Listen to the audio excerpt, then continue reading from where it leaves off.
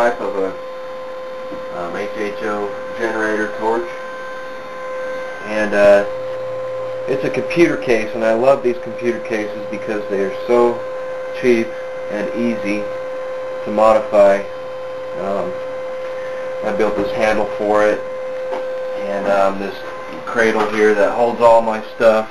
All my switches and knobs are in here, protected, instead of out here they can get bumped and broke.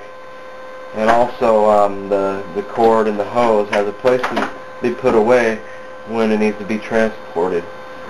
Um, you can see my reservoir size is really small and it's um, it works great. It, the thing holds a liter and a half of water when it's full. The whole thing altogether weighs 39 pounds so I can easily lift it from the floor up here with one arm. I'm very durable. Nothing's going to slide around and fall out of there. And uh, basically um, this system runs on 60 volts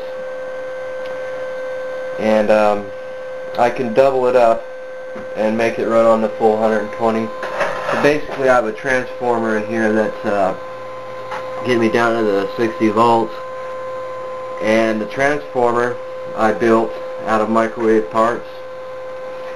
And it took a couple microwaves to build that no big deal. And of course my pressure switch to shut it off. And uh, the heat sink and rectifier right here. And I got a fan out of the microwave as well. So it's pretty simple unit. Um, uh, you can build one yourself. Fairly simple. Um, basically, you just need a computer case and some uh, aluminum or some type of metal to to build uh, this cradle. and um, some uh, cells of your choice. I mean, you can do plates or whatever you want, you know however you want to design it. But I do like the computer case works really good. Um, we're going to go ahead and fire it up. This thing puts out uh, 4 to 6 liters a minute. I have two settings. It's the low and a high, and on the low setting we get 4 liters a minute constantly. Um, we can constantly put that out for an unlimited amount of time without overheating.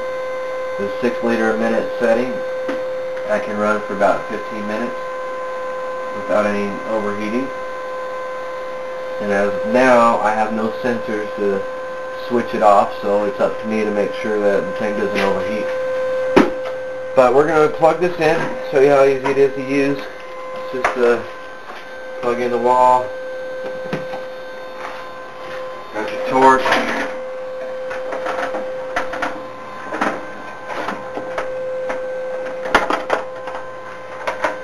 and uh, we'll just switch that on. We're on low, so we're at about 4 liters a minute.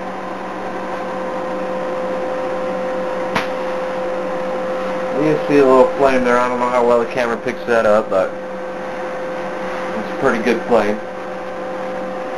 We're going to go ahead and do our old concrete engraving here.